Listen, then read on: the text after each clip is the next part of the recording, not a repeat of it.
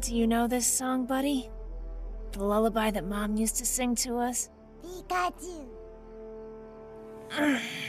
the gentle breeze and the twinkling stars. Da -da.